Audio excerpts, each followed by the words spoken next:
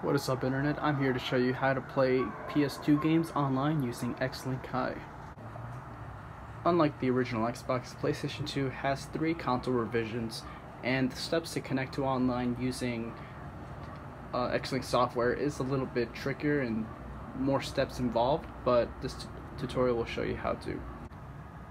First off, if you're using an original PlayStation 2 fat model, as some people call it, I call it a Model 1, on the back you'll have an expansion bay door. Um, usually it will have a piece of plastic covering it.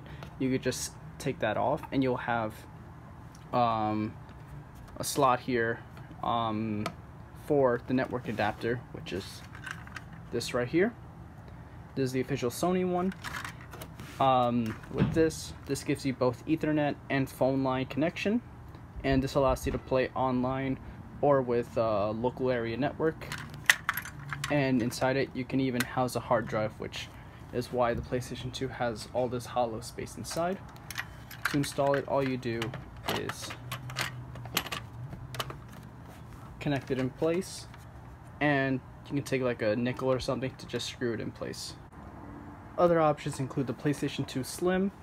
Luckily this has the Ethernet line built into the system and some earlier models even have the phone line. However, this is mostly unused.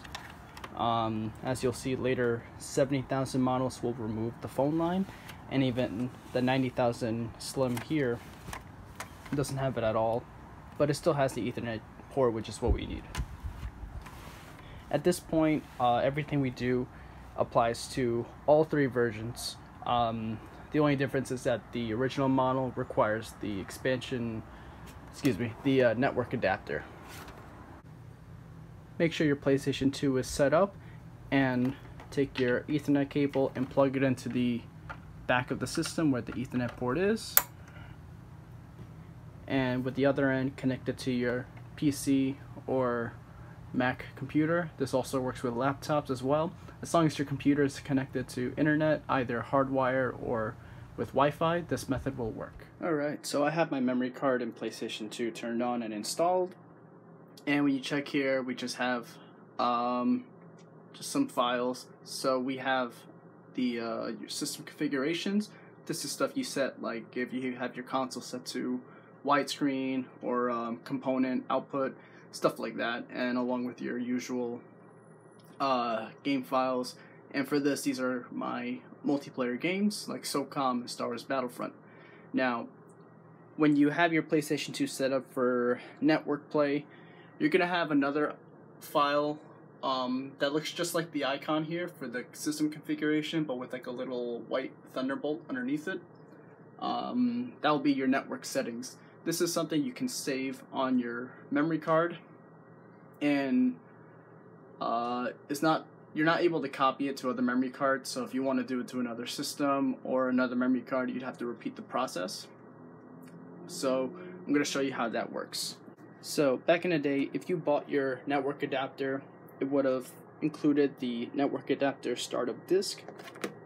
Um, and this just lets you go through the configuration, connecting online, uh, setting up your network connections. It would either be a DVD or Blu-ray, depending on which version. This is the uh, version 2.5, but that doesn't matter.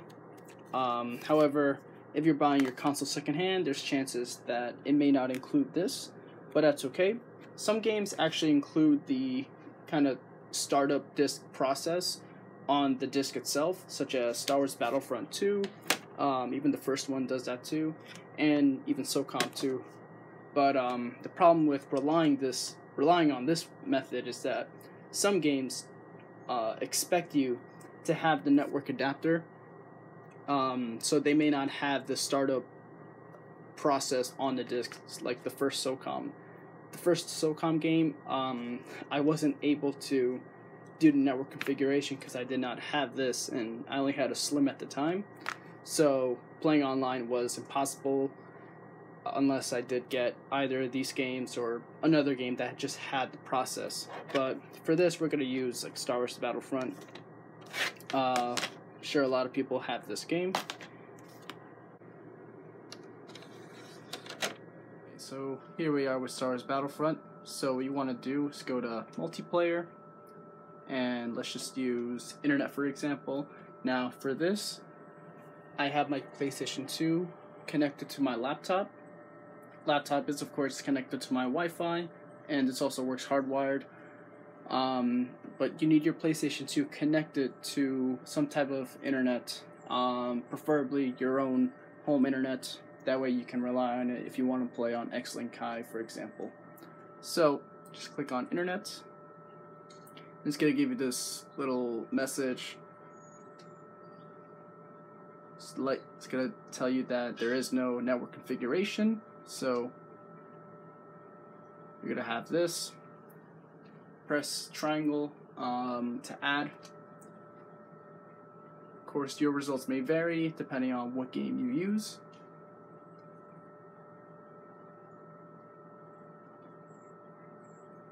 Alright, so here we are, the network setup. Again, this is included on disk for Star Wars Battlefront 2. Um, not all games will include this feature, so either have the network um, startup disk in hand or just another online game that has this on disk. So you want to go to Add Setting, Memory Card Slot 1, and then press right uh, select the network adapter. Um, our user ID and password required, not required. Auto. Auto. Test connection.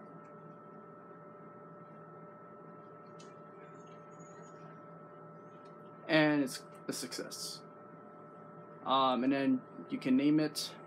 So I'm just gonna name it um, LAN or something, internet. Alright, so I named it internet. You can name it whatever you want. Press right. Scroll down. Press X for OK. And it's going to save onto the memory card.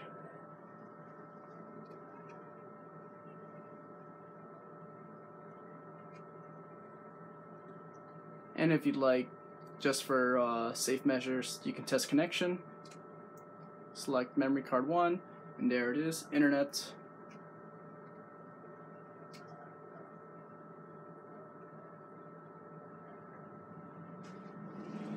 And it's a success. Once again, to do this, make sure your PlayStation 2 is wired to your computer and your computer is connected to the internet, either LAN, excuse me, either with a wired connection or Wi-Fi. And then you can just press circle to exit. And it'll return back to the game. Okay, so with your other PS2 turning on, uh, let's just ignore the slim back there.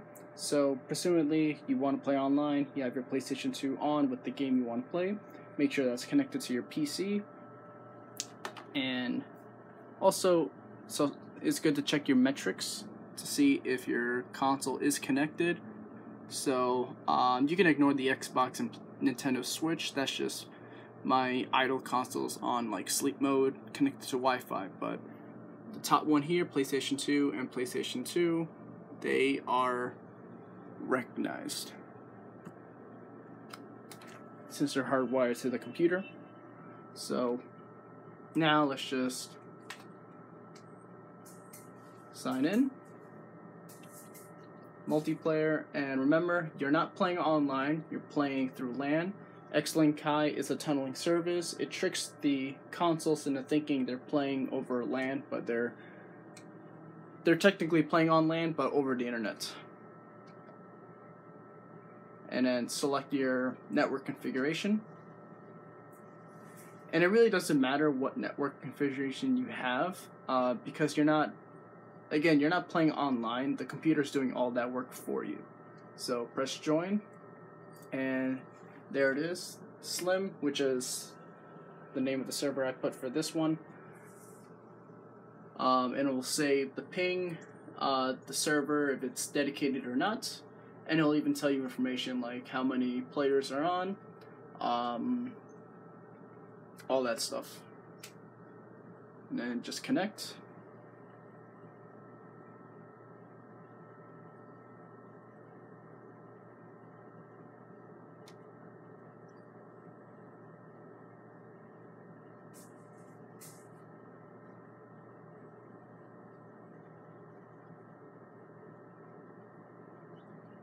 And there, you're connected.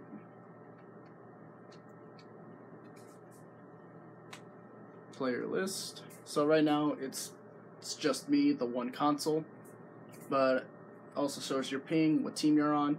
Uh, I believe voice chat is also supported, so that's cool.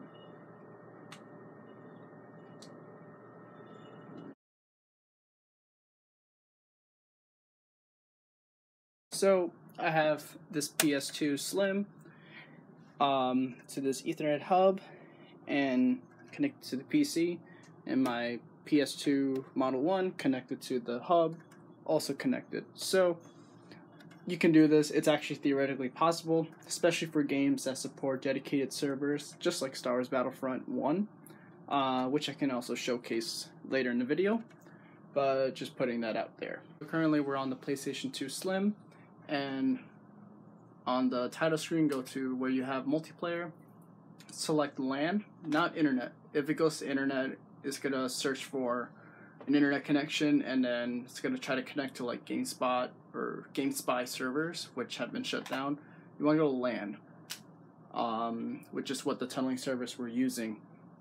And make sure on your computer, so here we are in the game arenas. So you wanna select the game arenas, um, go to PlayStation 2, scroll to the game you want to play. For this, we're using Star Wars Battlefront. And currently there's no players, thus no servers. So we're going to create a server. Create. And let's go back for a sec. So options.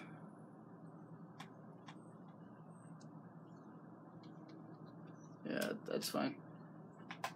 Create use best friend platforms.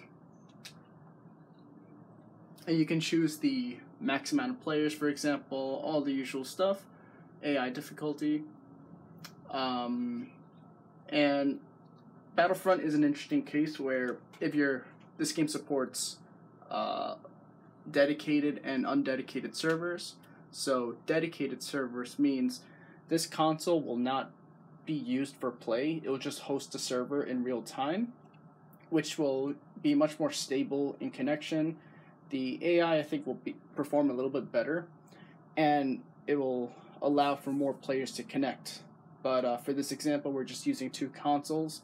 So um, this one, if it's if you're playing on non-dedicated, the max you can do is four. But uh, let's just go for example, dedicated on and then you go back to max players, you can increase it up to I think 16. Yeah, so that's cool. If you have like a second PlayStation 2 and you want to host a, a game night with other people online, that's totally possible. But um, uh, you know what? Let's let's just do it. So.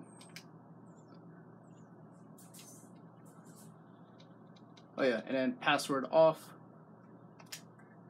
and then just launch the game.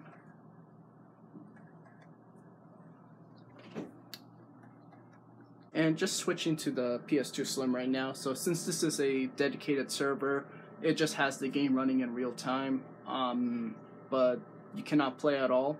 Um, all I can let you do is just end the server or not. That's it. So that was my tutorial on how to play PlayStation 2 online using Xlink Kai. I hope this tutorial was effective. If you have any questions, just ask me in the comment section. And, you know, if this proved to be helpful, I hope I play with any of you guys online. Um, once again, thanks you all for watching, and have a good one.